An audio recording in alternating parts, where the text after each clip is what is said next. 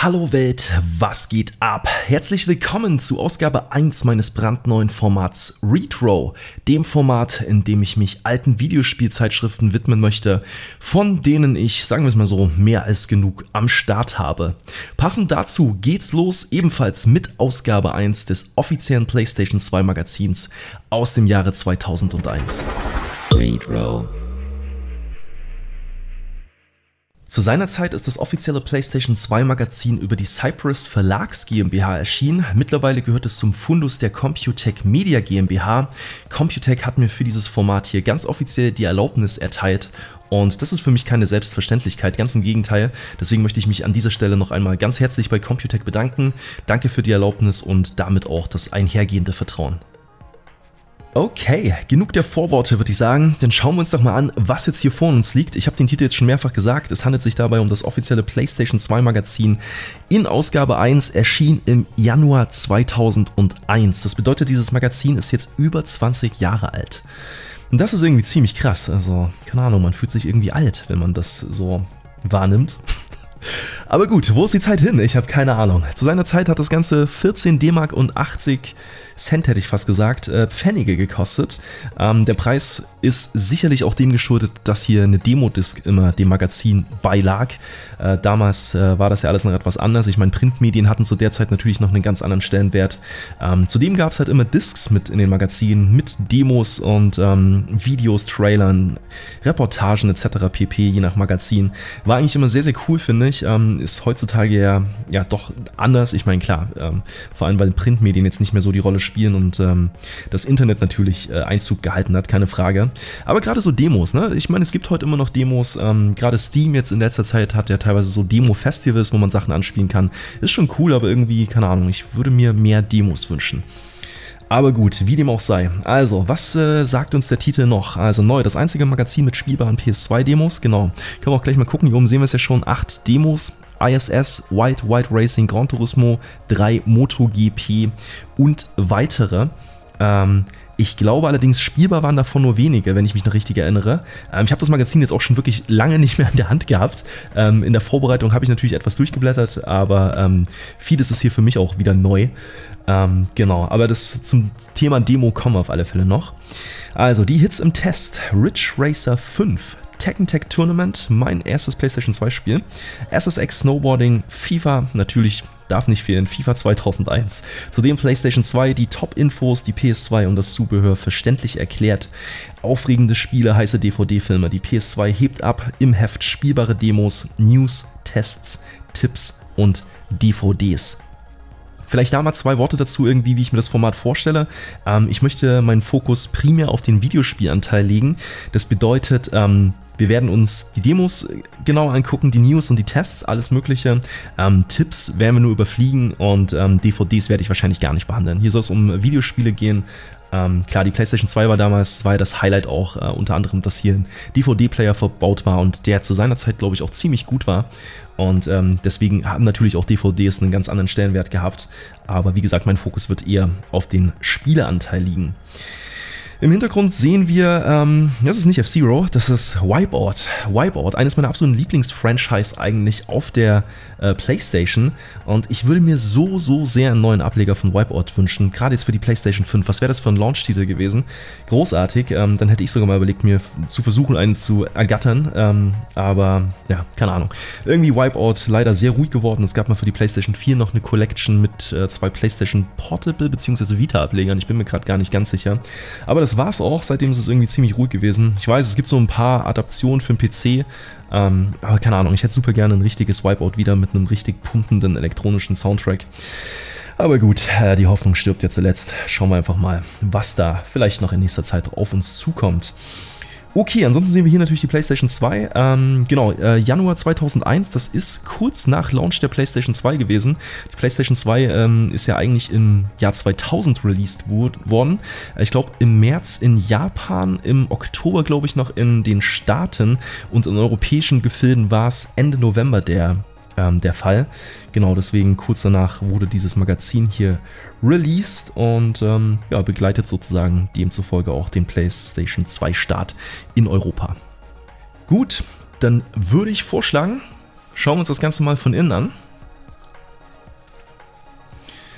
Und natürlich auch hier darf äh, FIFA wieder nicht fehlen. Schon damals äh, omnipräsent irgendwie. Also vielleicht ein kurzer Disclaimer an dieser Stelle. Ähm, ich persönlich kann jetzt nicht so viel mit Sportspielen anfangen. Ähm, hin und wieder klar immer mal welche gespielt, aber ist jetzt nicht so mein Genre. Ähm, nichtsdestotrotz, in dem Format soll es jetzt hier nicht darum gehen, dass ich äh, nur den Artikeln, was auch immer, ähm, ja, Aufmerksamkeit widme, wo es um äh, meine Lieblingsspiele oder so geht, sondern äh, wir werden hier alles ähm, relativ durch die Bank weg behandeln. Genau, das aber nur mal so als Info. Kikus Matthäus Perfectus, Gladiatoren in Fußballtrikots. Naja, ist halt eine Werbung. Ja.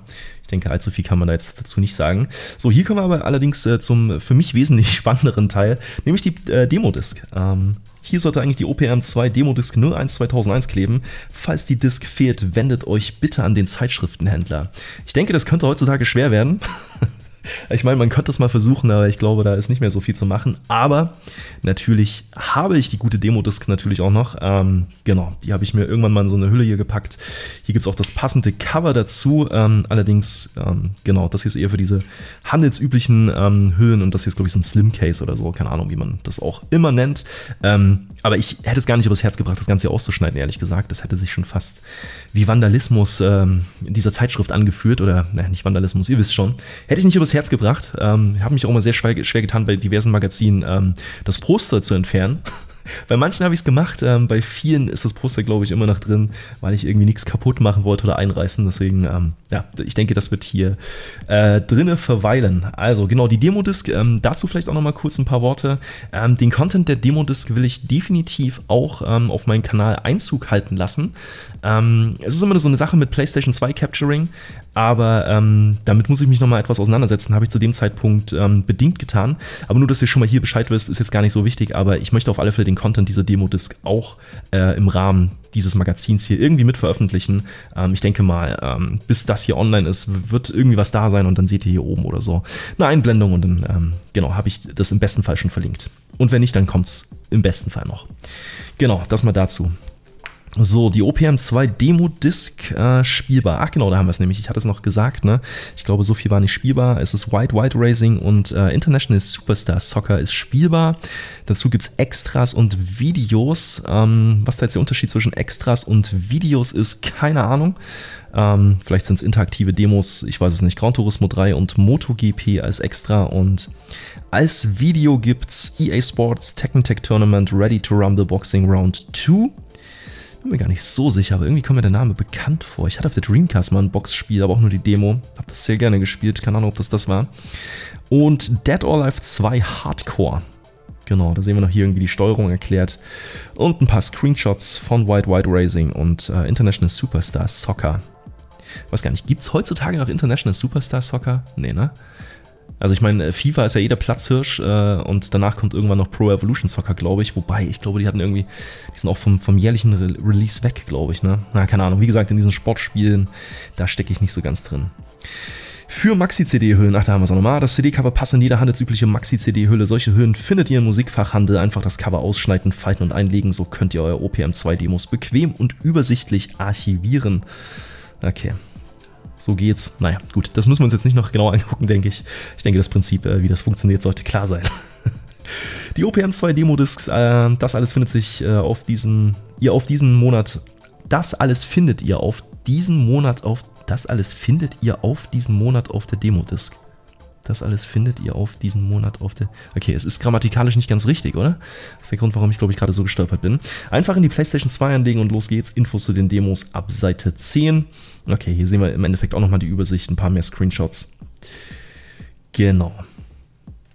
Gut, okay. Ich würde sagen, so viel zum Demo-Teil. Er ist dort, wo du noch nie warst. Was für eine surreale Werbung ist das denn bitte? Willkommen im Third Place. Stimmt. Das war der Werbeslogan für die PlayStation 2. Krass. Die Werbung sieht irgendwie auch ziemlich abgefahren aus. Ich weiß nicht, irgendwie. Also, es ist, es ist eine andere Zeit gewesen, glaube ich, oder? So eine Werbung würde man, glaube ich, heutzutage irgendwie auf diese Art irgendwie nicht mehr sehen, habe ich das Gefühl. Ich glaube, es gibt noch viel, also ich glaube, teilweise war die Werbung auch für Spiele äh, noch wesentlich offensiver. Man hat sich noch wesentlich mehr getraut. Ich weiß nicht, ob in dem Magazin schon sowas vorzufinden ist. Werden wir sehen, aber ich erinnere mich, dass es in ein paar Zeitschriften schon Werbung für Games gab, wo man sich so dachte, okay, nicht schlecht, mutig. Mal gucken, also heute würde man wahrscheinlich irgendjemand damit auf den Schlips treten, aber gut, ist ein anderes Thema. Okay, also genau, willkommen im Third Place. Das offizielle PlayStation 2 Magazin, Ankunft in der Zukunft, naja, jetzt eigentlich in der Vergangenheit. Ähm, ja, guck mal, ja, fast, fast mein Kanallogo geklaut, ähm, nochmal Glück gehabt. Endlich geht's los. Die PlayStation 2 ist in Deutschland gestartet. Wir haben uns mächtig ins Zeug gelegt, um alle PS2-Besitzern ein üppiges Spaßpaket zu schüren. Bei uns findet ihr top aktuelle Infos, kritische Spieletests und fundierte Technikinfos. Und nicht vergessen, nur im OPM2-Magazin gibt's spielbare PlayStation 2-Demos. Um euch schnell zu informieren, haben wir das OPM 2 in drei Bereiche unterteilt. Die Rubriken Games, Movies und Hightech sind übersichtlich gekennzeichnet und behandeln die drei Welten der PS2. Ihr findet äh, schnell, wonach ihr sucht, die Struktur des Magazins.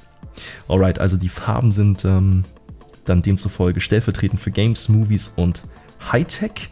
Uh, Hightech ist Zubehör, News, Anschlüsse und Technikinfos. Okay. In diesem Monat haben die Hersteller leider nur zwei spielbare Demos rechtzeitig fertiggestellt. In Kürze werden natürlich mehr spielbare Demos auf der Disk sein. Als Ausgleich haben wir zwei fette Extras, nämlich Gran Turismo 3 und MotoGP, als tolle High-Resolution-Videos auf die Disk gepackt. Okay, also Extras sind eigentlich doch auch nur Videos. Hm. Na gut, okay. Um das OPM 2 zu eurem Magazin zu machen, zählen wir uh, uns auf zählen wir zählen wir uns auf eure Mithilfe. Okay, also entweder ich, mein Hirn hat einen Bug oder zählen wir uns auf eure Mithilfe? Zählen wir auf eure Mithilfe eigentlich, oder? Hm, naja, okay, wie auch immer. Äh, wir freuen uns auf eure Anregungen, Kritik, Lob und Fragen zu allen PS2-Themen. Durch euer Feedback nehmt ihr Einfluss auf die Gestaltung des Magazins, also los geht's, entweder per Mail über www.opm2.de oder Brief oder Fax an die Adresse auf Seite 9. Jetzt aber viel Spaß mit der Startausgabe des OPM2 Let's Rock. Christian Blende, Chefredakteur. Hier möchte ich mich mal ganz kurz anschließen. Ja, wir freuen uns auf eure Anregungen, Kritik, Lob und Fragen. Ähm, das würde ich einfach mal aufgreifen. Gleiches gilt für mich und dieses neue Format. Ähm, Gerne Anregung, Kritik, Lob, Fragen in die Kommentare. Ähm, das ähm, Format wächst im besten Fall mit euch zusammen. Und äh, das ist die erste Ausgabe. Das ist für mich jetzt auch alles relativ neu. Ich muss erstmal einen Flow für die ganze Geschichte entwickeln und gucken, wie ich das gestalte. Deswegen, ähm, ja, lasst gerne hören, wenn ihr Anregungen und Co.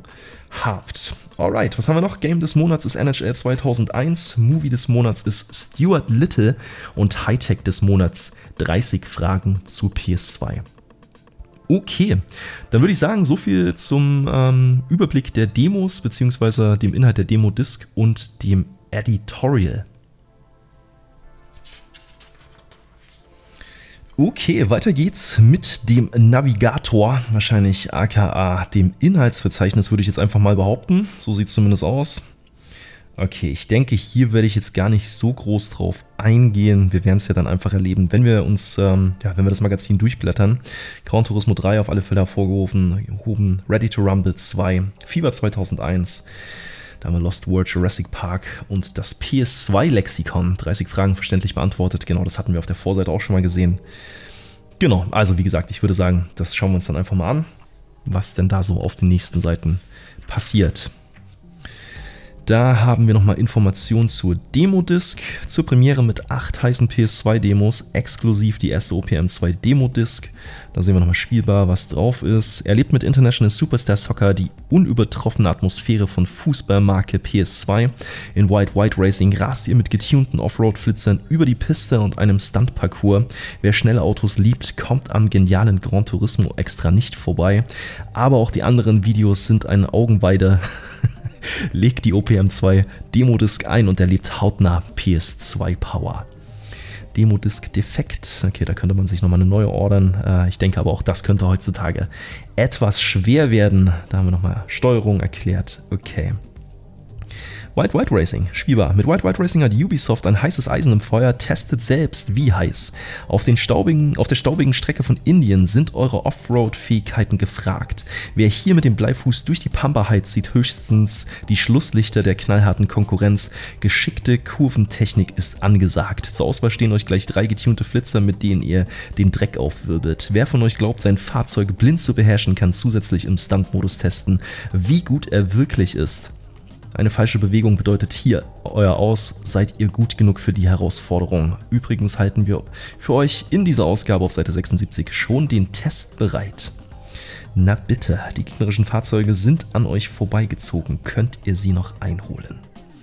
International Superstar Soccer spielt Konamis erstklassigen Fußball, äh, PlayStation 2 Fußballspielprobe. Der Klassiker Deutschland gegen England wartet auf euch.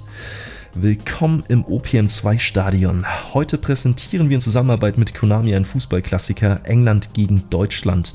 Ausnahmsweise spielt ihr in unserer exklusiven PS2-Demo nicht mit dem Team von Rudi Völler, sondern steckt in den Trikots der kampfstarken Briten. Umgekehrt wäre das Gewinnen auch viel zu einfach. Und wenn ihr verliert, könnt ihr es immer noch auf den Mann in Schwarz schieben. Schiedsrichter Heinz Müller kommt nämlich wie eure Gegner aus Deutschland. Bereits in unserer Demo-Version dürft ihr die Spielgeschwindigkeit in 10 Stufen einstellen, sowie die Perspektive präzise auf eure Bedürfnisse anpassen. Was die Vollversion noch alles für euch bereithält und ob ISS besser als FIFA 2001 ist, lest ihr in unserem OPM2-Test in dieser Ausgabe ab Seite 84. Aber jetzt viel Spaß beim Spielen. Was haben wir hier noch? OPM 2 Tipps. Kein überhasteter Abschluss. Okay, alles klar, das äh, bezieht sich auf die Demo. Ähm, gut, ich würde sagen, das lassen wir einfach mal so stehen. Wenn ihr Lust habt, könnt ihr ja sonst auch das Video hier pausieren und äh, könnt selbst noch nachlesen, wenn es euch interessiert.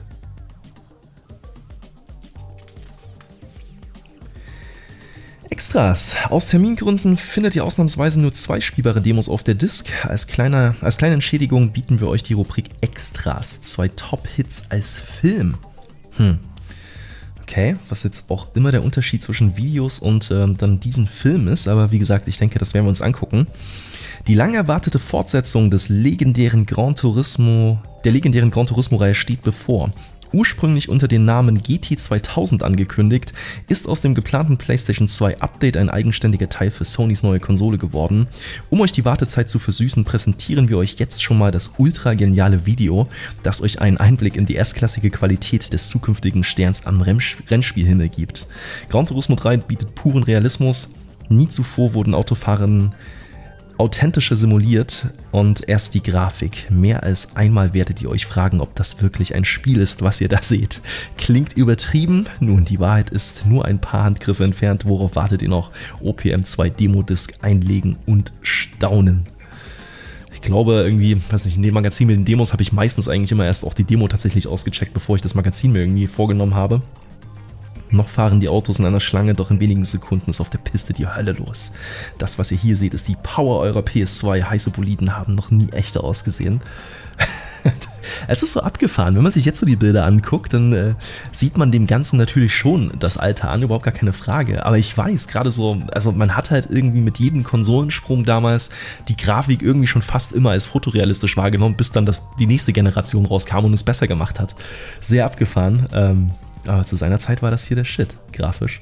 Ähm, ja, Gran Turismo war jetzt auch nie mein Genre, ähm, aber ähm, ich kenne einige Leute, die das gesuchtet haben ohne Ende. Ähm, war mir wesentlich zu komplex, bin ich viel zu wenig Autofreak, als ähm, dass das was für mich gewesen wäre. Ich frage mich nur, was aus Gran Turismo geworden ist, oder? Irgendwie ist es komisch. Ich, irgendwie, es war da, wie war das denn? Gran Turismo 4 kam auf der PlayStation 4 raus, aber auch wurde auch zigmal verschoben. Und es gab davor noch so einen Prolog. Und keine Ahnung, was ist, was, was ist jetzt mit Gran Turismo geworden?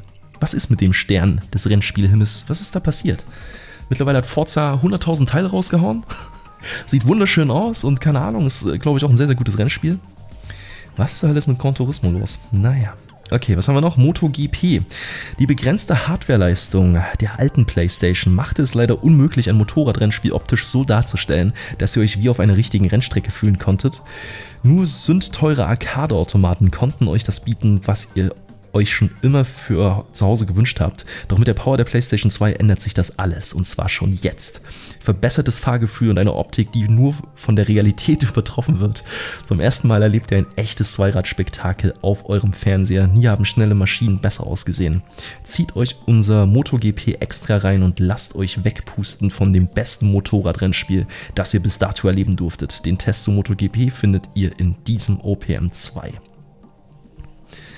Wenn man die Maschinen so entlang heizen sieht, hat man große Lust, selbst mitzufahren. Egal in welcher Perspektive ihr die rasante Fahrt erlebt, es ist immer ein Augenschmaus. Sehr schön. Videos haben wir EA Sports. Wahrscheinlich ein Video, wo verschiedene Sporttitel vorgestellt werden, könnte ich mir vorstellen. Wenn jemand für gute Sportspiele bekannt ist, dann ist das EA Sports und natürlich entwickeln sie auch für ihre PlayStation 2. EA Sports, jahrelange Erfahrung gepaart mit der Leistungsfähigkeit der PS2, bringen euch die populärsten Sportarten so authentisch nach Hause wie noch nie zuvor. Unser Video zeigt aktuelle und kommende Sporthighlights von EA für zu Hause. FIFA 2001, NHL 2001, Madden NFL 2001, Box Champions 2001, Tiger Woods Golf und F1 Championship Season 2001. Nicht nur Fieber 2001 sieht umwerfend aus, auch die anderen Sporthighlights können überzeugen. Tekken Tech Tournament, wie gesagt, das war mein erstes Spiel für die PlayStation 2. Äh, Tekken-Fan war ich auch schon auf der PlayStation 1. Namco's Tekken-Serie gehört zu den erfolgreichsten Prügelspielen der Welt. Auf der PS1 ist sie die unangefochtene Nummer 1 unter den Beat'em-Ups. Nun machten sie sich daran, auf der PlayStation 2 ihren Thron zu errichten. Mit Tekken Tech Tournament kommt kein gewöhnlicher Prügel auf eure Konsole. Statt traditionell Mann gegen Mann kämpft ihr hier im Tag-Team-Modus. Ihr wählt zwei Kämpfe aus und tretet ebenfalls gegen ein wahrhaftes Duo an. Ein Pflichtkauf für Freunde des Beat'em Subgenres. Auch in Abendkleid ist Anna eine wandelnde Waffe. Das bekommt Gen Ryu gerade zu spüren. Ready to Rumble Boxing Round 2. Mit Ready to Rumble Boxing Round 2 präsentiert euch Konami das humorvollste Boxspiel aller Zeiten. Ja, ich glaube wirklich, das ist der Dreamcast-Titel, was ich eingangs schon meinte. Aber so ganz sicher bin ich mir nicht mehr. Das Spiel verbindet alle Vorzüge des Faustkampfs mit Kato cartoonhaften Charakteren. Entwickler Midway hat sogar zwei echte Boxer eingebaut, obwohl sind The King of Pop Michael Jackson und Shaquille O'Neal wirklich Boxer. Egal, Hauptsache sie stecken im Spiel und ihr dürft sie vermöbeln. Optische Highlights sind zahlreich, wovon ihr euch in unserem ausführlichen Video überzeugen könnt. Okay, Michael Jackson. Was zur Hölle? Hm. Der abgefahrene Afro Thunder teilt so richtig aus. R2R2 macht einfach einen Riesenspaß. Also wenn das die Demo ist, die ich in Erinnerung habe, dann hat das wirklich sehr, sehr viel Spaß gemacht. Ähm, na, schauen wir, uns, schauen wir uns dann auf alle Fälle auf der Demo-Disc an. Dead or Alive 2 Hardcore. Ja, Dead or Alive, ne? Auch immer so ein Kampfspiel gewesen, irgendwie Street Fighter, Mortal Kombat, Tekken, Dead or Alive. Und, ach Gott, wie ist das andere noch? Es gab noch ein anderes früher, was auch noch recht groß war. Komme gerade nicht auf den Namen. Äh, jedenfalls Dead or Alive war auch immer, war auch immer sehr großartig, aber irgendwie, ich, mich hat es immer etwas mehr zu Tekken hingerissen. Ähm, wobei Dead or Alive schon ziemlich cool war, gerade mit diesen Stages, wo man dann irgendwie noch sich von Ebene zu Ebene prügeln konnte.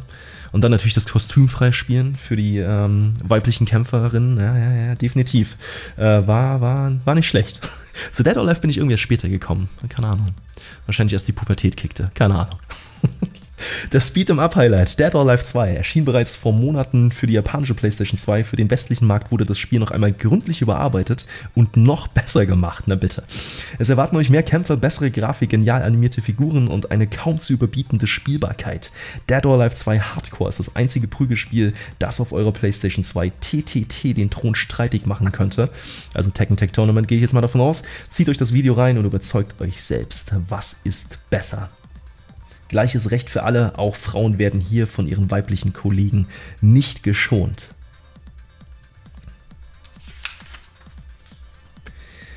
Alright, das war's äh, mit den Demo-Inhalt, wie es aussieht. Games News, alles Wissenswerte aus der Welt der PlayStation 2 Spiele. Brandaktuelle Infos und heiße Bilder frisch von den Entwicklern. Lest OPM 2 und ihr seid bestens informiert. Na dann, schauen wir mal, was die News von vor 20 Jahren gesagt haben. Zombies im Lichtspielhaus. Capcom zeigt computeranimierten Kinofilm. Square arbeitet seit Monaten an dem monumentalen CGI-Film Final Fantasy The Movie. Da lässt sich der japanische Konkurrent Capcom nicht lumpen.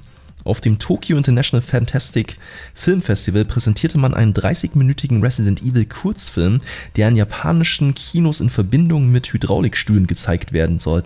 Vergleichbar mit dem Terminator Ride in den Universal Studios Florida. Wer es nicht kennt, abhängig von der Action auf dem Bildschirm rüttet der Stuhl des Zuschauers heftig durch. Alright. Biohazard 4D Executor ist komplett computeranimiert und zeigt beeindruckende Kreaturen durchaus denkbar, dass äh, der beeindruckende Kurzfilm auch im ersten Resident Evil PlayStation 2 Spiel Verwendung findet.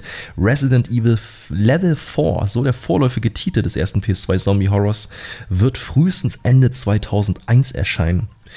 Ob so ähnlich auch der PS2-Auftritt von Tyrant Nemesis und Co. aussehen wird, ist ganz spannend. Ähm, ich weiß ehrlich gesagt gerade nicht, was der erste Resident Evil Teil für die PlayStation 2 überhaupt war.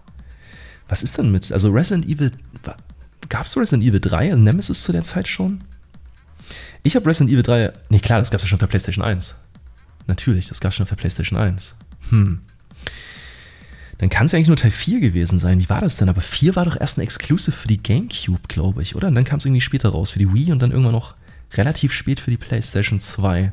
Meine ich mich zu erinnern, aber sicher bin ich mir nicht. Ich weiß auf alle Fälle, dass es einen äh, Resident Evil Ableger in Japan ähm, gab. Der hat es hier nicht, nie hergeschafft. Ähm, es war ein Online-Spiel. Es war ein PlayStation 2 Online-Spiel, dann ist man irgendwie zu viert irgendwie in irgendwelchen, keine Ahnung, Laborkomplexen rumgerannt und musste irgendwie Sachen erledigen, während irgendwie, keine Ahnung, Tyrant oder wer auch immer das war, rumgerannt ist und versucht hat, einen zu killen. Irgendwie so. Hab irgendwann mal durch Zufall einen Speedrun davon auf Twitch gesehen. Ähm, hm, kein Plan. Naja, gut, auf alle Fälle ganz spannend. Äh, jedenfalls Resident Evil Level 4 gibt es so gesehen nicht, aber vielleicht steht das Level 4 tatsächlich für den vierten Ableger und dann war es halt nur noch Resident Evil 4. Kann sein, keine Ahnung. Ansonsten, CGI war gerade so damals zur Zeit der PlayStation 2, aber auch eigentlich schon der PlayStation 1 war das immer der Wahnsinn. Ähm, diese Cutscenes, keine Ahnung, gerade bei Final Fantasy Square, deswegen hier steht auch gerade, also Square haben sie auch extra erwähnt, ähm, Square war da ja immer ganz, ganz weit vorne mit dabei, fand ich. Ähm, mit diesen ähm, gerenderten Zwischensequenzen war echt immer absolutes Highlight. Ähm, heutzutage irgendwie nicht mehr so, finde ich. Äh, teilweise finde ich, ähm, sehen, sehen, Spiele, also Gameplay selbst, sieht mittlerweile teilweise besser aus als äh, gerenderte Sequenzen, je nachdem, welche Auflösung das dann irgendwie im angeboten wird. Aber gut, so, was haben wir hier auf der ECTS-Spielemesse im September? Haben wir bereits die PC-Version Probe gespielt. Jetzt hat Sai erste Bilder der PlayStation 2-Fassung veröffentlicht. Action in ferner Zukunft.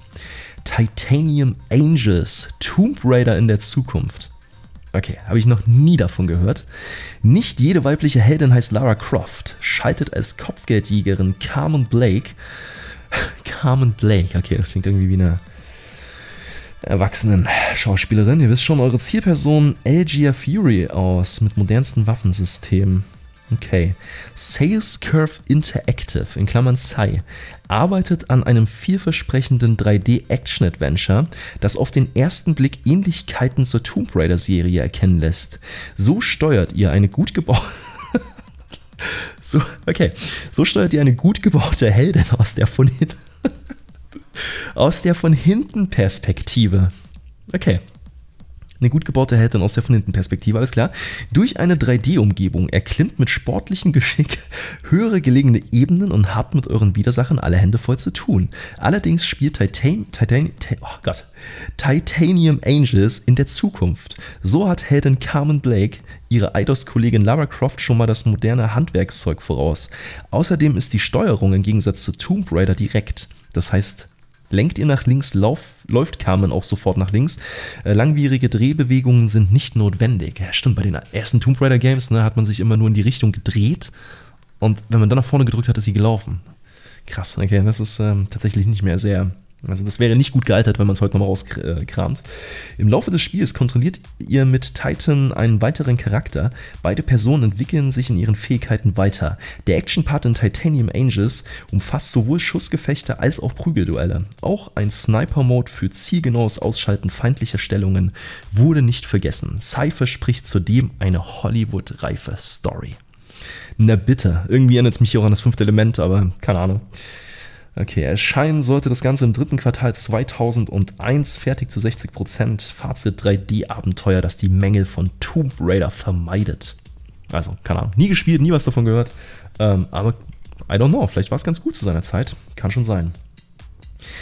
Age of Empires 2, die Age of Kings, Echtzeitstrategie im Mittelalter. Okay, das äh, überrascht mich jetzt ehrlich gesagt sehr. Ähm, hätte nicht damit gerechnet, dass Microsoft äh, zu der Zeit einen äh, Ableger dafür für die PlayStation 2, für ein Strategiespiel auf Konsolen. Ich meine, ist ja auch heute noch immer nicht so wirklich ein Ding, ja, aber war es halt damals auch schon nicht, finde ich.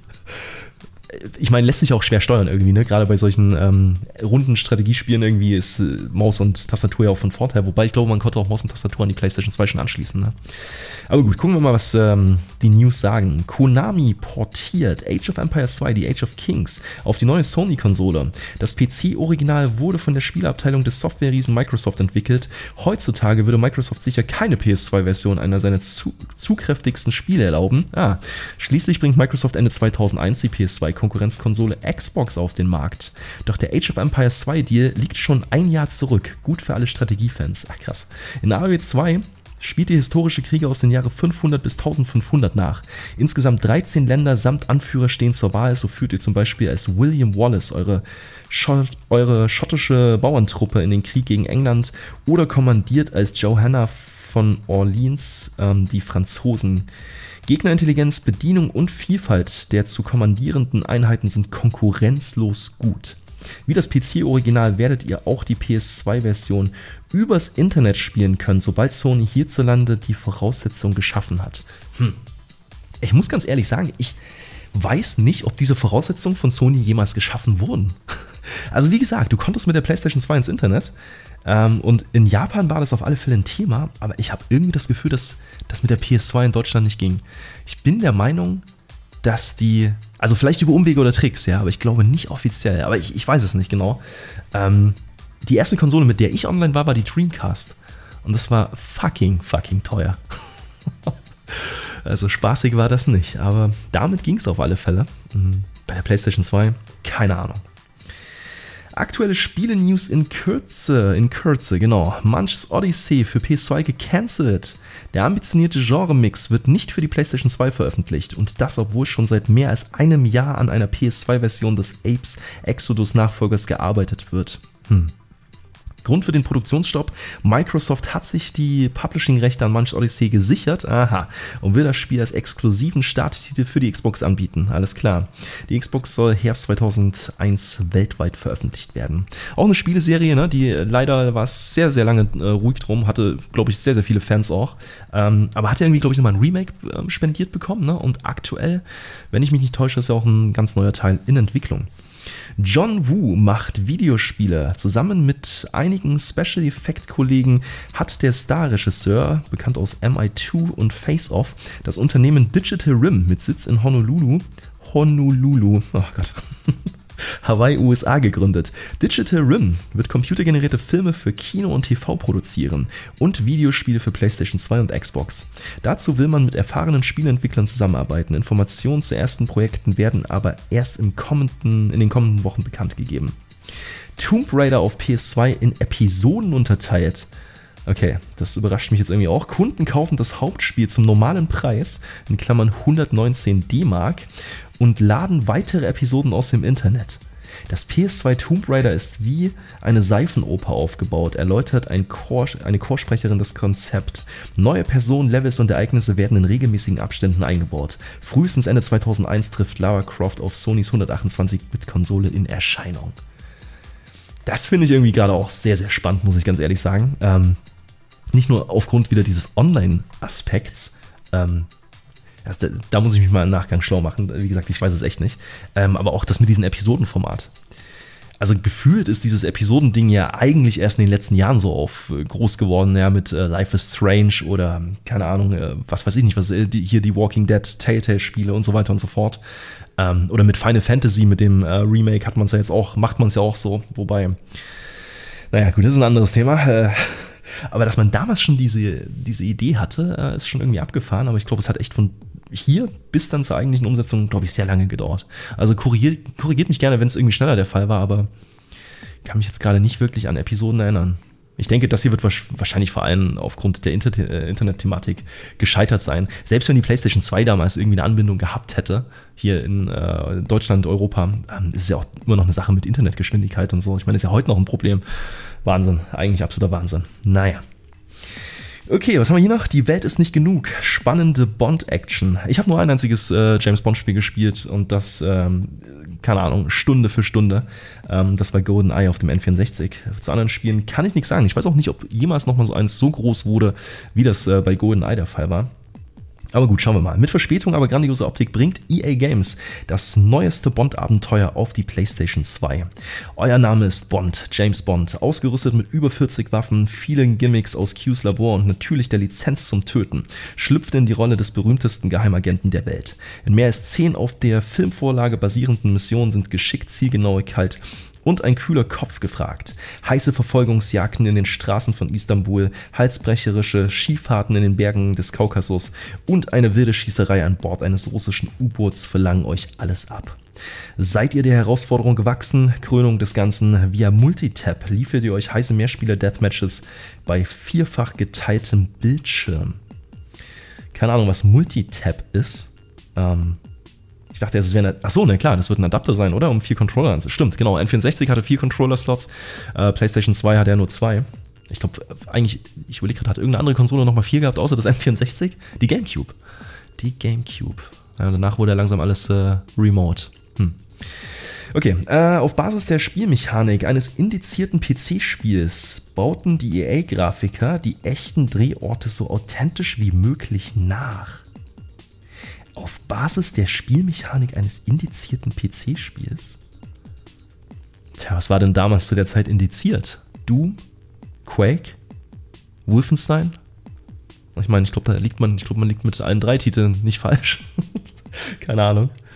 Ähm, interessant auf alle Fälle. Äh, okay, authentisch wie möglich nach. Die moderne Technologie ermöglicht äh, eine authentische Darstellung gewölbte Oberflächen, Texturen mit vielen Details, voluminösen Nebel und spektakulären Lichteffekten.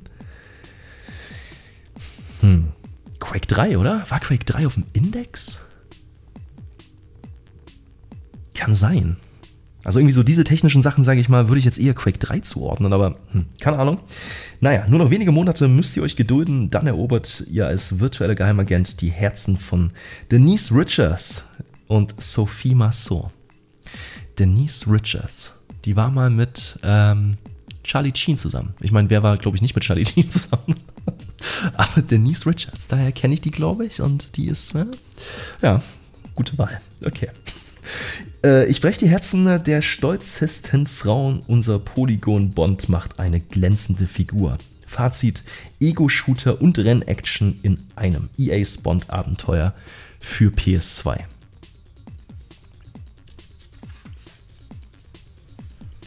Sky Odyssey, tollkühne Männer in fliegenden Kisten. Von Sony kommt der erste Flugsimulator für die PlayStation 2. In Sky Odyssey steigt ihr ins Cockpit zehn unterschiedlicher Flugzeuge, vom klapprigen Doppeldecker bis hin zum modernen Jet. Sky Odyssey ist allerdings kein Actionspiel. Statt Feuergefechten stehen Transport- und Kunstflüge auf euren Stundenplan. Fünf unterschiedliche Spielmodi sollen für Langzeitmotivation sorgen. Bisher hat Sony nur eine frühe Version und wenige Bilder veröffentlicht. Hier sieht Sky Odyssey eher durchschnittlich aus. Doch bis zur Veröffentlichung haben die Entwickler ja noch viel Zeit für Verbesserungen. Erscheinen soll Sonys Flugsim Anfang nächsten Jahres. Okay, habe ich auch noch nie gehört davon. Grafisch macht Sky Odyssey in der Vorversion einen Durchschnitt, äh, durchschnittlichen Eindruck. Jetzt habe ich's.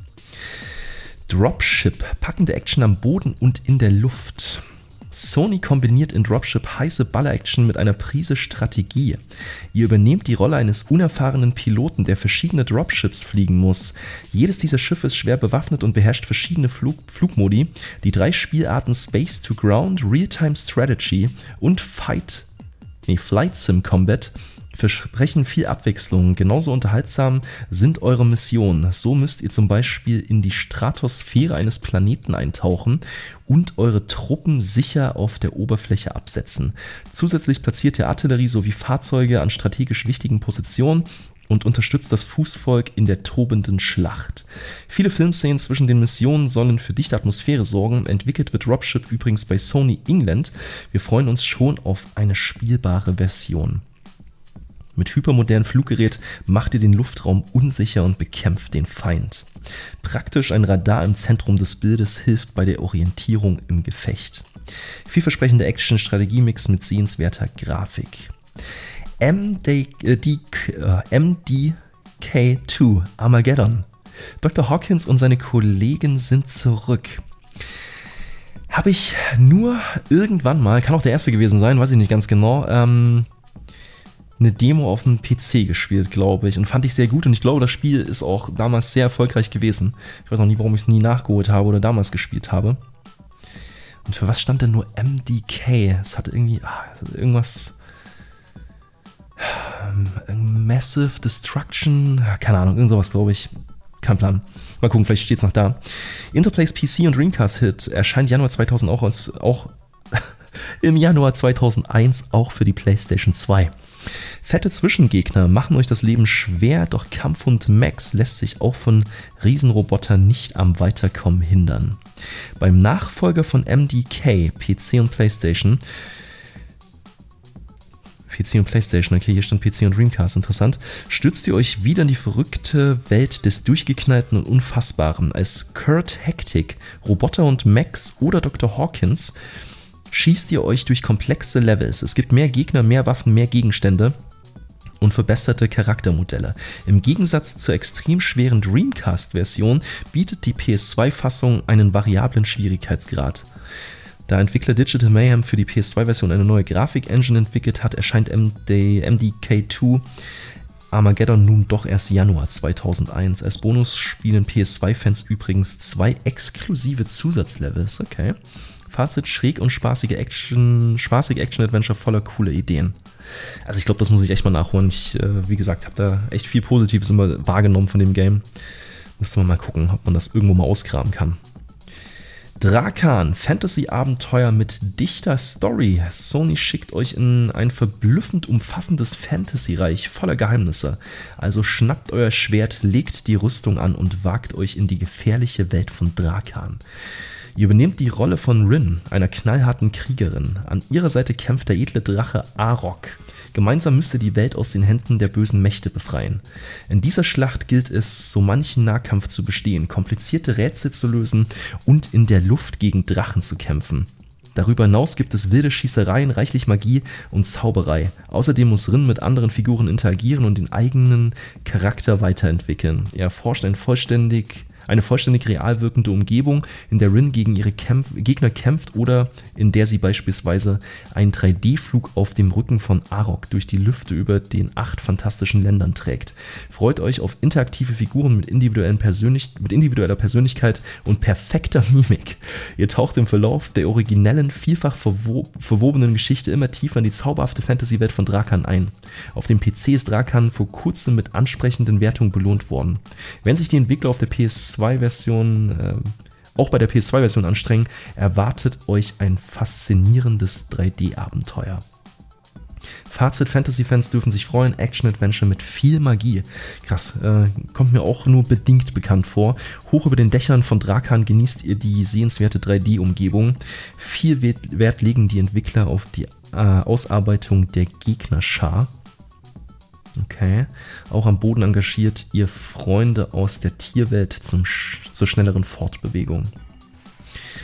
Alright. Vielleicht mal auch ein interessanter Titel, den man mal nachrecherchieren könnte, ob das Game wirklich was getaugt hat. Was haben wir hier? Hot Stuff für dein Nokia oder Sage im Handy. Sa Sargem, keine Ahnung. Coole Logos. Coole Logos? Ja, coole Logos und aktuelle Klingeltöne per SMS. Okay, also was haben wir hier so? Mhm. Killer, ein Hund, Aliens, noch ein Hund. CIA, Schneemänner, Horror. Okay, wahrscheinlich für ähm, nicht wenig Geld. Also, ich denke mal, die Nummer gibt es, ich glaube, Service-Nummern äh, gibt es eh nicht mehr, die 990er. Deswegen versucht es erst gar nicht.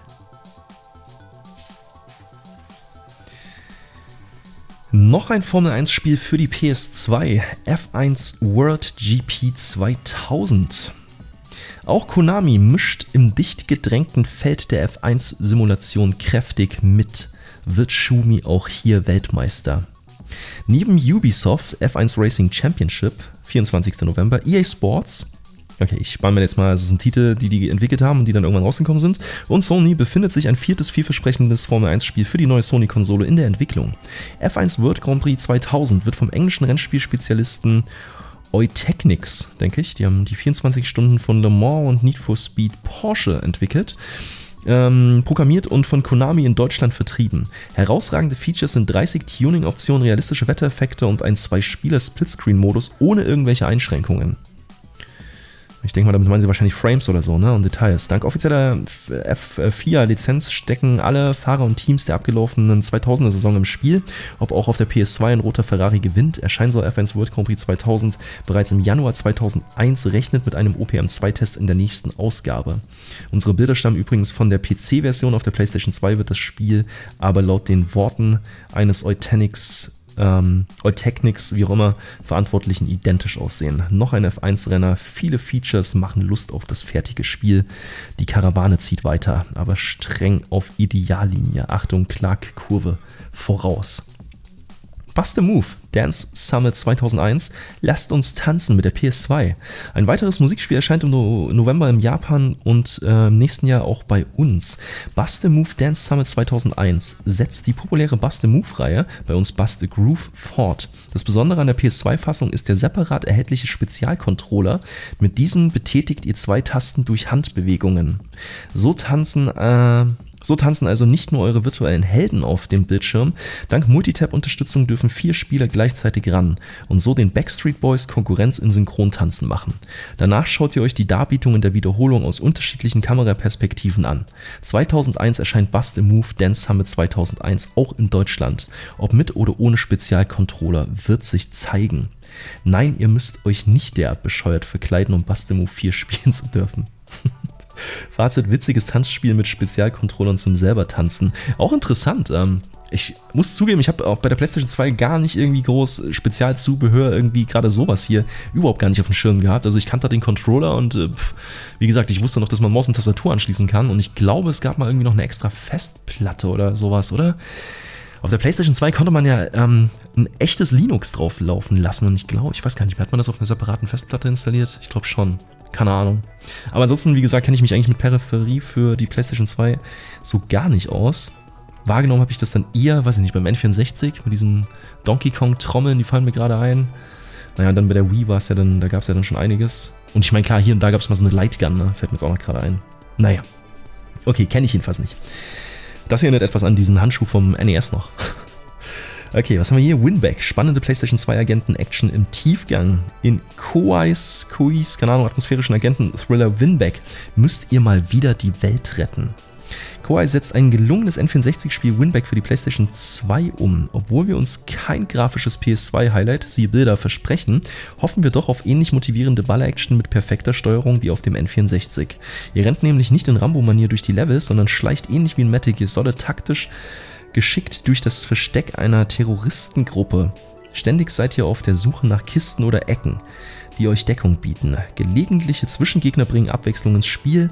Die statischen Filmsequenzen der N64-Fassung werden für die PS2 unter anderem mit passender Sprachausgabe deutlich aufgebohrt. Explosiv als harter Spezialagent habt ihr kein Erbarmen mit fiesen Terroristen. Partyspaß gleich zu viel dürft ihr bei Winback um die Wette ballern. Taktisch fordernde Terroristen hat's mit grafischen Mängeln. Okay, habe ich auch noch nie gehört. Surfing H3O. Also, apropos, habe ich auch noch nie gehört. Extreme. Wellenreiten wie ein Weltmeister. Mit Take-Two's Surfing H3O wird euer DualShock 2 Analog-Controller Flux zum Surfbrett. Was zur Hölle? Es gibt wohl keine Sportart auf der Welt, die, echt, äh, die es nicht mindestens zu einem Videospiel gebracht hat. Da darf Surfen natürlich nicht fehlen. Take-Two präsentiert euch für die PS2 Surfing H3O, ursprünglich unter dem Namen Surfroid in Japan, Japan erschienen. Im Gegensatz zum, zur Originalversion gibt es keine lächerliche Hintergrundgeschichte mehr und auch keine außerirdischen Surfer. Was? Okay, aber das klingt für mich nach dem Highlight. Warum gibt's das nicht mehr? Hm. Die interessantesten zwei Dinge an dem Spiel sind aber geblieben. Die realistischen Wasserbedingungen und die coole Steuerung. Um eure Wellenreite perfekt zu kontrollieren, benötigt ihr ein Mini-Surfbrett, siehe Bild. Dieses wird ganz einfach mit zwei Saugknöpfen auf den beiden Analog-Joysticks eures Controllers befestigt und schon kann es losgehen. Nach kurzer Eingewöhnungszeit kommt ihr mit der ungewöhnlichen Steuerung erstaunlich gut zurecht, was aber nicht über die weitgehend mäßige Grafik hinwegtäuschen kann. Surffans sollten den Titel trotzdem im Auge behalten. Im nächsten OPM 2 folgt der Test. In den Nahaufnahmen erkennt ihr sogar das Tattoo auf dem Rücken des Surfers. Wow. Dank originellem Controlleraufsatz interessantes Surfspiel. Was zur Hölle? Ich muss ganz ehrlich sagen, darauf habe ich gerade richtig Bock. ich kann es mir irgendwie verdammt gut vorstellen. Oh mein Gott, da muss man ja fast mal gucken, ob man das noch auftreiben kann. das klingt super spaßig. Nur schade, dass die Außerirdischen rausgestrichen wurden und die lächerliche Hintergrundgeschichte, die wahrscheinlich mit den Außerirdischen verwoben ist. Na toll. Hm. Okay, also bis jetzt, bis jetzt der interessanteste unbekannte Titel für mich in diesem Magazin. Äh, mal gucken, ich habe natürlich auch Ausgabe 2 von dem Ding. Ähm, da können wir uns dann vielleicht mal den Test dann irgendwann in naher Zukunft dann mal reinziehen. Mal gucken, was OPM dazu zu sagen hat. Okay, aber es scheint ein Geheimtipp zu sein, einfach vom Fun-Faktor, wie es aussieht. Na gut. Stunt GP oder Grand Prix GP, wie auch immer. Das ist, glaube ich, jetzt der dritte Titel mit GP. Ne? F1 World GP, Stunt GP, dann hatten wir noch Moto GP, das ist als Demo drauf. GP, ist irgendwie so ein Zeitgeist, wie es aussieht gewesen. Rennspiel Extreme, Virgins neuer Flitzer Stunt GP verbindet packende Rennen mit aufwendigen Stunt-Einlagen. Mit ferngesteuerten Autos. Das erinnert mich an, oh Gott, wie hieß es? Micro Machines. Was ist, was, warum, warum gibt es kein, was ist aus Micro Machines geworden? Verdammt geht es bei Teams 17s neuesten Werk über fantasievolle Strecken. Die kleinen Modellwagen sind dabei über gigantische Schanzen und Hindernisse zu manövrieren. Leistet ihr hierbei aufwendige Stunts, ergattert ihr zusätzliche Punkte, um möglichst haarsträubende Tricks auszuführen, müsst ihr spezielle Düsentriebwerke an den Fahrzeugen zünden. Dadurch wird das Auto wild durch die Luft geschleudert und dreht sich mehrmals um die eigene Achse. Klingt wie äh, hier Rocket League, oder? So etwas. Skater kommen ebenfalls auf ihre Kosten. In der Halfpipe sammelt ihr im Stunt-Modus zusätzliche Punkte. Über 20 Modellautos dürft ihr in einem gigantischen Bausatz nach Belieben zusammenstellen. Das Fahrverhalten von Stunt GP ist bereits für diese frühe Version recht überzeugend. Lediglich an der Grafik sollten die Programmierer von Team 17 noch feilen. Mhm. Auch interessant. Na gut, okay, die haben es wahrscheinlich geschrieben, als es noch nicht draußen ist, aber hier steht Release-Datum Dezember 2000 und die Zeitung ist von Januar 2001. Gut, keine Ahnung. Spektakuläre Stuntrenner mit noch, äh, mit grafischen, noch mit grafischen Schwächen. Aber sowas, also gerade so Micro Machines oder so, war echt cool. So viele alte IPs irgendwie, die, weiß auch nicht, wenn man die nochmal irgendwie richtig gut neu auflegen würde. Aber richtig gut, meine ich. naja, okay. Spiele-News in Kürze. PS2 in den USA sofort ausverkauft. Oh, kommt einem ja irgendwie bekannt vor. Schon kurz nach dem amerikanischen PS2-Start am 26. Oktober hieß es in fast allen Geschäften des Landes ausverkauft. Die meisten der 500.000 Geräte wurden bereits im Vorverkauf abgesetzt. Bis Weihnachten liefert Sony Woche für Woche 100.000 weitere PlayStation 2-Konsolen in den USA aus, um die riesige Nachfrage nach der neuen Sony-Konsole befriedigen zu können. In Europa ist auch wegen der geringen Liefermenge ebenfalls mit einem schnellen Ausverkauf zu rechnen. Summoner auf nächstes Jahr verschoben. Ursprünglich war das ambitionierte THQ-Rollenspiel Summoner als PS2-Starttitel in Deutschland geplant, doch jetzt wurde der Termin auf März 2001 verschoben. Grund, statt einer englischen Version will man nun eine komplett lokalisierte Fassung auf den deutschen Markt bringen. Im nächsten OPM 2 liefern wir Rollenspielfans als kleinen Appetit hatten eine ausführliche Summoner-Vorschau. Was mir gerade so einfällt, es kann sein, dass diese Januar-Ausgabe im Dezember rauskam, aber deswegen die Januar-Ausgabe war. Und dann würde das wiederum auch passen. Hier nämlich mit nächsten Jahr verschoben, dann soll es aber im März 2001 rauskommen. Und das hier kann sein, dass es das so gewesen ist, jetzt äh, wo ich gerade mal drüber nachdenke. Naja. EA setzt auf Ingame-Vermarktung. Aha, hört, hört. Dabei werden gezielt Bandagen, äh, Banden in ausgewählten Spielen der EA Sports-Reihe als Werbefläche angeboten. Electronic Arts folgt damit Erfahrungen in den USA, die belegen, dass die während der gesamten Spieldauer sichtbaren Werbeflächen eine hohe Wiedererkennungswert bei den angesprochenen Zielgruppen erreichen. Im deutschsprachigen Raum wurde dieses Instrument erstmals bei der populären Fußballsimulation FIFA 2001 eingesetzt. Hm. Dabei werden gezielt Banden in ausgewählten Spielen der E-Sports-Reihe als Werbefläche angeboten. Okay. Ich meine mal irgendwann vor ein paar Jahren mal von einem Konzept, Konzept gelesen, vielleicht ist es sogar heutzutage, ich weiß nicht, wie gesagt, FIFA lange nicht mehr gespielt. Ich hatte auf alle Fälle mal gelesen, irgendwie, dass echte Werbung auch geschaltet werden soll und die halt irgendwie dann quasi aus dem Internet äh, immer nachgeladen wird. Ja? Also, dass die Werbung stets frisch ist sozusagen. Ich weiß nicht, ob das heutzutage der Fall ist. Hier geht es wahrscheinlich darum, dass man diese Werbeflächen halt bei der Entwicklung angeboten hat und dann konnten sich wahrscheinlich Leute einkaufen und äh, die Werbung in-game konnte dann natürlich nicht mehr geändert werden. Ähm, könnte ich mir vorstellen, dass es vielleicht so angedacht war. Kein Plan. Aber ich meine, Werbung, wobei ich Werbung gerade in, in, Sportspielen irgendwie auf diesen Banden und so, keine Ahnung, finde ich eigentlich alles andere als schlimm, muss ich ganz ehrlich sagen. Ich finde es eher immersiv sogar, weil ist ja in echt eigentlich genauso. Von daher in der Hinsicht, da finde ich Werbung eigentlich absolut äh, legitim. Aber gut. OPM 2 ist online. Der Microsoft Internet Explorer. Aha. Okay, PlayStation 2, Top-Infos. Wahrscheinlich ist, ist der daran schuld, dass wir das jetzt erst sehen, 20 Jahre später. PlayStation 2 Top Infos, das offizielle PlayStation 2 Magazin präsentiert euch viel, ein vielfältiges Online-Angebot aus allen Bereichen des PlayStation 2 Universums. Wir stellen euch die Highlights vor. ah, schön. Wenn ich mir die Bilder so angucke, das sieht schon verdammt oldschool aus. Oh Mann. Online-Charts, Testberichte von OPM 2 Online. PlayStation 2 Freaks und OPM 2 Redakteure diskutieren sich im interaktiven OPM 2 Forum die Finger heiß. Egal ob ihr Fragen zu neuer Hard- und Software habt, bei einem Spiel festhängt oder Kritik zur neuen OPM 2 Ausgabe oder zur Webseite loswerden wollt, das OPM 2 Forum bietet euch stets die passende Plattform für eure Argumente. Ich denke mal, die Website wird es gar nicht mehr geben. Keine Ahnung. Könnte man sich auf alle Fälle auch mal angucken. Ähm, aber wenn es die noch gibt, dann leitet die bestimmt weiter oder so. Aber ich denke, den, den wir hier sehen, schade eigentlich. Werden wir nicht mehr vorfinden. Äh, vielleicht mit irgendeiner Archiv-Webseite oder so kann man vielleicht nochmal das Ganze nachstellen. Wäre vielleicht auch mal ein Ausflug wert. Was haben wir hier? Ready to Win, Ready to Rumble Boxing Round 2 von Midway. Da haben wir vorhin auch schon was davon gelesen. And the winner is Ready to Rumble Boxing Round 2. Afro Thunder und Co. holen in Runde 2 zum K.O.-Sieg gegen die Konkurrenz aus. Und dieses Mal gibt's die volle Dröhnung. Geniale Features, 10 neue extrem schlagfertige Fighter, neue Arenen und echte Stars aus Musik und Sport. Wir erinnern uns Michael Jackson und Shaquille O'Neal.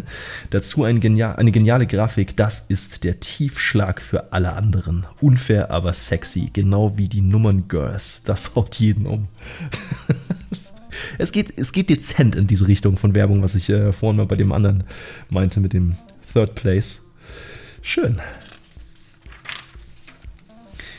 PS2-Spiele die Neuheiten. Die Entwicklerstudios weltweit laufen heiß. Mehr als 60 PlayStation 2-Titel erscheinen in den nächsten vier Monaten. 60. Krass. Jetzt überlegen wir mal, was jetzt aktuell bei PlayStation 5 und Xbox Series X alles so ansteht. Krass. Okay, naja. Okay, äh, Dezember, Januar, okay, also hier haben wir die Übersicht, was wann released wird. Das würde ich jetzt tatsächlich mal nur überfliegen. Ach, guck mal, sogar noch PS1 Highlights. Also zu der Zeit wurden auch noch, naja gut, ist jetzt nicht so lange her dann, äh, PlayStation 1 Spiele offensichtlich veröffentlicht. Digimon World Dino Crisis 2. Auch eine Serie, die ich endlich mal nachholen wollte, ey. Driver 2, Fear Effect 2 Retro Helix, Final Fantasy 9 und Legend of Dragoon. Krass, ey. Da sind einige Top-Spiele dabei auf jeden Fall. Was haben wir hier noch? Na gut, das sind wahrscheinlich die Spiele-Highlights, ähm, von denen wir, ja, genau, Dead or Alive haben wir auf alle Fälle schon gesehen, F1, MotoGP. Disneys Dinosaurier. Oni. Die erste Beta-Version ist weniger erbaulich. Wir hoffen auf Besserung. Shadow of Memories. Konamis Zeitreise-Adventure für Erwachsene kommt bald. Auch noch nie gehört. Gehört. Summoner, Zone of the Enders. Wollte ich auch schon längst mal nachholen. Ist mittlerweile auf dem PC erschienen, glaube ich. Final Fantasy 9, großartig. Surfing Age 3, oh, da ist es wieder. Nasses Vergnügen mit coolen Surfbrett-Controller-Aufsatz. oh Mann, ey. Donald Duck Quark Attack. Für Donald Duck-Fans fängt das nächste Jahr gut an. Naja, wenn ihr euch das mal angucken wollt, äh, ihr seht ja hier, was wann rausgekommen ist, samt Einschätzung.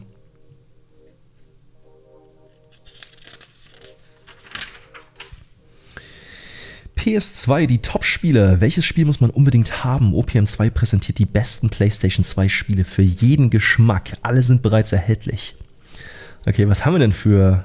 Okay, wir haben Fußball, wir haben Eishockey, wir haben FIFA 2001 und NHL 2001. Na gut, so viel Konkurrenz war da ja auch nicht. Ne? Snowboarding haben wir SX, SSX Snowboarding. Boxen haben wir Ready to Rumble Boxing Round 2.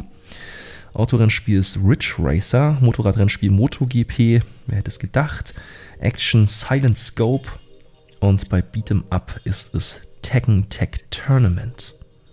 Most Wanted aus den Lesercharts. Aus, auf welche Spiele freut ihr euch am meisten? Eine Umfrage auf unserer Webseite zeigt eure aktuellen Favoriten. Auf Platz 1 ist Metal Gear Solid 2, gefolgt von Zone of the Enders, danach Dead or Alive 2. Platz 4 Silent Hill 2. Ich hatte es ja anfangs schon mal gesagt, ich hatte ja schon mal durchgeblättert in der Vorbereitung und hier ist auch ein Test so, ähm, oder eine Vorschau zu Silent Hill 2 drin und da freue ich mich besonders drauf, denn ähm, Silent Hill 2 ist eines, also ich habe mit Sicherheit eine Retro-Brille auf, aber ähm, eines meiner absoluten Lieblings-Horrorspiele überhaupt. Und das war auch eines der ersten Spiele, die mir richtig Angst gemacht haben. Silent Hill 2, absolut großartig. Gran Turismo 3, Unreal Tournament, kam auch für die PS2, okay. Timesplitters, FIFA 2001, Final Fantasy X. Mein persönliches Lieblings-Final Fantasy, ja. Viele sagen immer Teil 7 und so. Ähm, Teil 7 großartig, keine Frage. Ähm, aber, weiß auch nicht, Teil 10 hat mich am meisten gecatcht. Aber da wird ja schon seit Jahren diskutiert. Soll jeder gut finden, was er gut findet. Ist im Endeffekt auch egal. Ich mag Teil 10 sehr. The Getaway. Kenne ich nicht. Bei mir Werbung für Timesplitters. Ich glaube, ich habe Timesplitters habe ich auch nie gespielt, aber ich bin der Meinung, dass Timesplitters auch eine sehr, sehr große Fangemeinde hatte. Und war es nicht sogar so, dass irgendwie ein offenes Ende war und irgendwie es kam aber nie ein Nachfolger oder gab es noch Timesplitters 2? Vielleicht bringe ich auch was durcheinander. I don't know. Exklusiv für PlayStation 2 bis zu vier Spieler, inklusive Level-Editor zur Erscheinung, äh, Erstellung von eigenen Deathmatch-Karten. Super cool. Level-Editor war irgendwie damals immer der Shit. Hab sehr gerne mich damit beschäftigt mit sowas. Pausenlose Action kombiniert mit schrägem Design garantierte stundenlang Spielspaß. Wer Ego-Shooter liebt, wird in diesem Jahr an Timesplitter nicht vorbeikommen. Na toll, ich liebe Ego-Shooter, aber irgendwie bin ich vorbeigekommen. Damit, irgendwas habe ich falsch gemacht. Das war Episode 1 von 5 der ersten Ausgabe meines neuen Formats Retro. Ich werde hier einen Cut machen, denn sonst wird das Video viel zu lang. Ähm, ich werde das Ganze unterteilen, ähnlich wie es auch das OPM 2 tut. In der ersten Ausgabe haben wir uns jetzt die Demos und News angeguckt und in der nächsten Folge geht es weiter mit ähm, der Vorschau. Da werden wir uns Spiele angucken wie Gran Turismo 3, Wipeout Fusion, Silent Hill 2 und viele mehr. Wenn euch das Video gefallen hat, würde ich mich sehr über einen Daumen nach oben freuen. Das unterstützt das Format und meine Arbeit hier auf YouTube.